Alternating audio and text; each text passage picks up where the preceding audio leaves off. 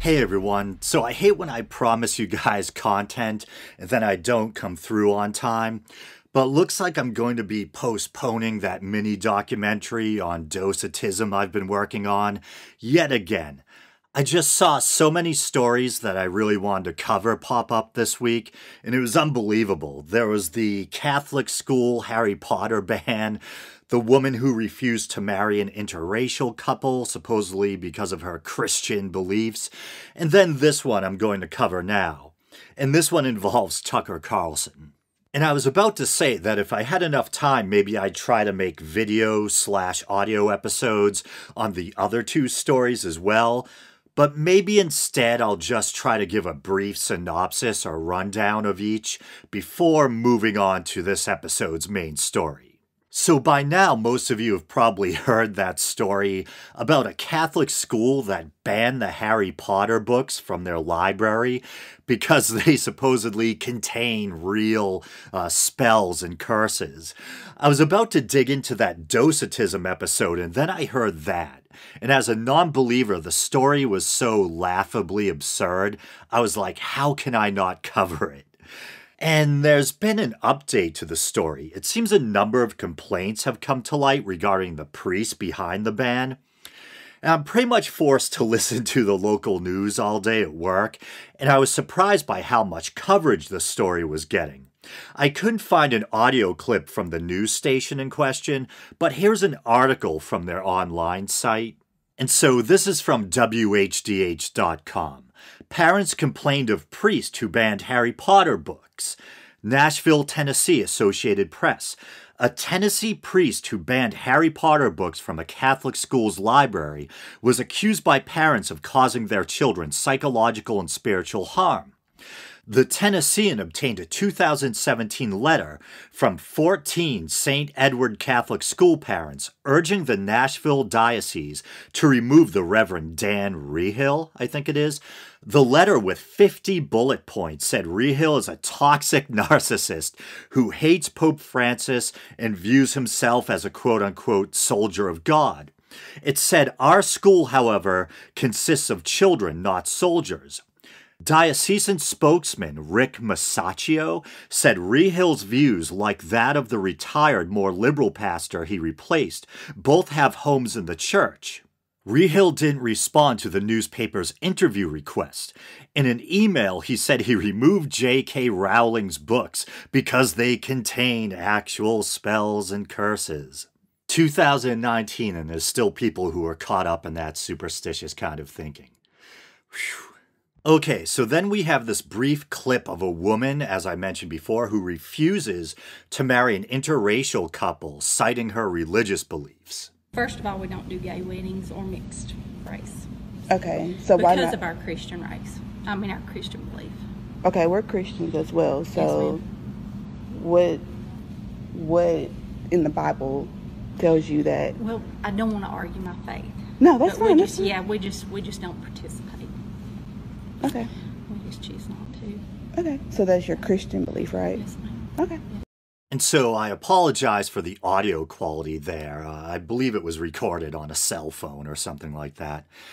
So I have to admit, the first time I heard this clip, I missed the part where she mentions her opposition to gay marriage right before she mentions her opposition to interracial marriage. Maybe you can make an argument that the Bible is against gay marriage due to its clear description of marriage as being between a man and a woman. Not that I care. I'm a secular person who strongly supports gay marriage, LGBT rights, and who thinks that marriage in general is a man made institution. But yeah, just keeping it real, if you're a Christian, you probably could find some scriptural footing for an argument against gay marriage. But interracial marriage? Am I missing something? What the heck does the Bible have to say about it? If anything, aren't there stories about Israelite kings and prominent biblical figures marrying people from foreign lands, etc.? Actually, here's a little excerpt I grabbed from a Christian site called uh, Ligonier Ministries or something like that. And so here the author of the article is responding to a question about this very thing. And they say, I think one of the strongest texts that does relate to this is in the Old Testament. where we read that Moses, who was the mediator of the Old Covenant, took to himself a wife who was a Cushite. A Cushite was an Ethiopian. All of the evidence that we can construct on Old Testament history indicates that Moses' wife was black. We also read that his sister Miriam became very distressed by the fact that her brother married a Cushite. It was a racist reaction. Miriam got angry and rebuked Moses.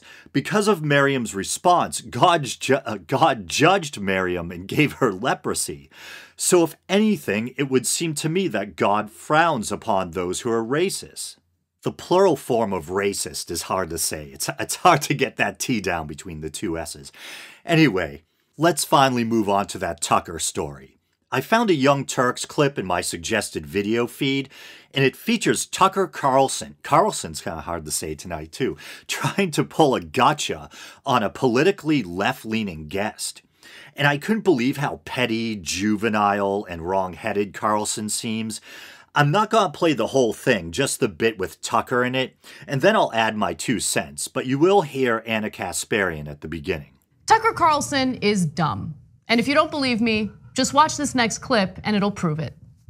If we had less access to guns, less access to ammunition, the suicide rate would plummet, and the number of gun deaths, which are now at 33,000 per year, would, would decrease. I mean, 93 people are killed every single day by guns. Seven kids are killed every day. Are you against 50 suicide women are now? killed every month Because I thought partners. the left supported uh, suicide. Because last time I checked, like in the state of Maine, for example, the left has now made physician-assisted suicide legal. The left pushed that. I'm opposed to I- it. But I so how can, so you for or against suicide? I'm kind of losing track on this I, I personally am against suicide, but I think Oh. physician-assisted suicide is something that should be between the doctor Oh, and the but patient. you shouldn't be Blowing allowed to do it gun is a little yourself. Oh, I get it. You got to take my guns away because of suicide, but meanwhile you're making suicide legal. But to be clear, Tucker, I I'm don't sorry, want to take the your BS guns is away. just too much. So, suicide by guns is different from physician assisted suicides. Uh, this is why I say that Tucker Carlson is dumb because he is equating two completely different things. And so, yeah, I agree with Anna there. And so, firstly, there's this grotesque, cartoonish generalization or mischaracterization that the left as a whole support suicide. And once again, as I've said on the show ad nauseum, I consider myself a left leaning independent. My political views definitely align with the left, but I do my best to avoid groupthink and I don't openly affiliate myself with any particular political party. Uh, but anyway, this gross mischaracterization by Tucker is wrong on so many levels. There's a big difference between medically assisted suicide or euthanasia and suicide by gun. As Anna will go on to say, there's about eight states that allow medically assisted suicide. And I think in the case of, uh, was it Maine or Vermont, uh, at least, it, it requires that the individual in question be terminally ill. So, big difference between, say, perhaps an elderly person who's at the end of the line, maybe terminally ill or in unbearable pain, or maybe even a younger person who's terminally ill with some kind of inoperable cancer or something and in extreme physical suffering. A big difference between that, as sad as those cases are, and, say, someone who could probably otherwise be helped with therapy or medication, blowing their brains out with a gun because in that moment they feel lost in despair. And I was recently talking about guns on the show and saying how personally I'm not really interested in guns outside of, say, shooting zombies in a Resident Evil game. And I don't own a gun. I feel very self conscious talking about this, but I have to admit that one reason why I feel uncomfortable owning a gun is that I wrestle with depression and at times also chronic pain. And I don't think I would ever take my own life, but having an implement around the house that would allow me to quickly do so with the pull of a trigger doesn't really seem like a good idea. But yeah, there's this characterization that people on the left don't value human life, and this might be presumptuous, but I imagine the majority of people on the left, like myself, probably see it the way I do that suicide is a very serious matter, and it's something we should fight to prevent. But euthanasia or medically assisted suicide, as sad as it is, should probably be permitted, uh, especially in extreme cases where someone is terminally ill and in unbearable physical pain or suffering. But Tucker Carlson is painting it like lefties don't value life and are pro suicide. that they shouldn't care, according to their own ideology, about the disturbing idea of an otherwise healthy person ending their life with a gun. And I should mention in fairness that I believe there have been at least a couple of cases overseas, maybe in the Netherlands or some Scandinavian country, I forget exactly, where the courts have ruled in favor of allowing a young person suffering from depression to go through with medically assisted suicide. And I'll read a bit from this article from The Atlantic how Dutch law got a little too comfortable with euthanasia. The story of a 17 year old's assisted death wasn't real, but it could have been. And this is dated June 8th, 2019, so not too long ago. However alarmist some stories about Noa Pothoven's death might have been, one should remember that euthanasia of a minor as young as 16 for psychiatric suffering is indeed legal in the Netherlands. Pothoven, and I really hope I'm getting her name correct, uh, a 17 year old girl in that country, had struggled with depression, anorexia, and post traumatic stress disorder, reportedly after being sexually abused at age 11 and uh, this is rough, raped at 14. She had sought permission for medical euthanasia and announced on Instagram that she intended to die. Her passing on June 3rd prompted news stories around the world, their dramatic headlines an implicit rebuke of Dutch assisted death policies. In most countries, the debate over physician assisted suicide has centered on adults in the final stages of incurable physical illness. Pothoven's age and mental illness made her case quite different, which is why the initial English language news stories on her death sparked such alarm.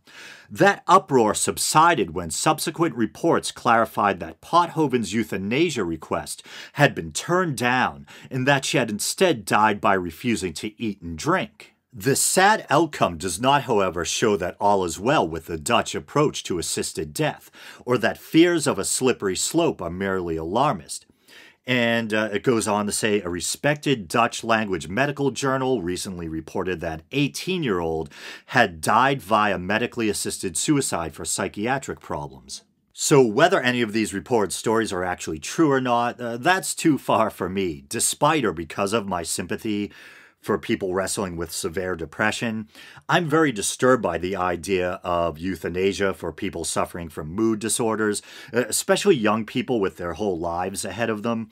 I don't care if you have to spend every day on a ketamine drip. You know, keep trying different antidepressant medications, undergo extensive talk therapy.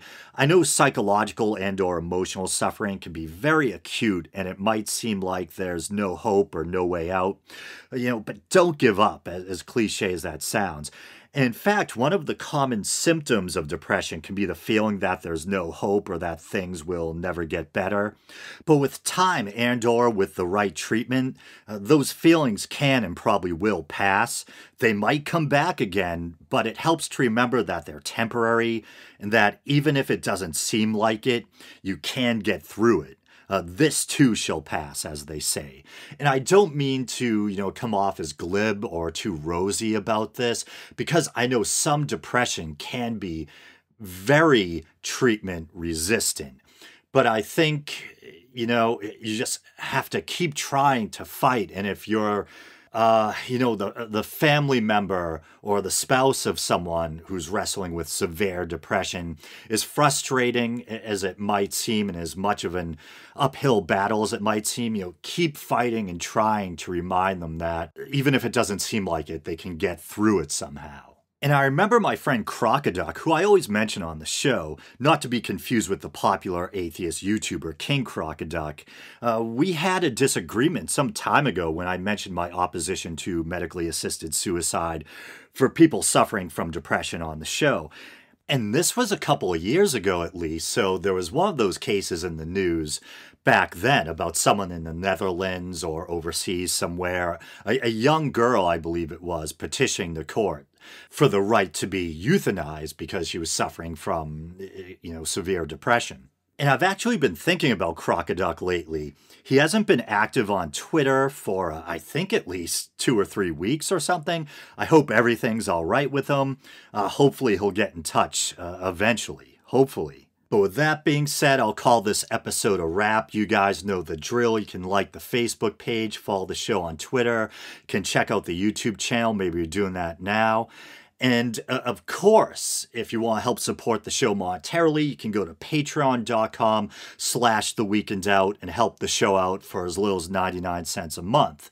And, you know, I am trying to hopefully someday, you know, turn this into my day job. Still swinging a hammer all week. Uh, I'd be able to produce a lot more content and really throw myself into the show more if uh, you know this if I could afford to make this my day job.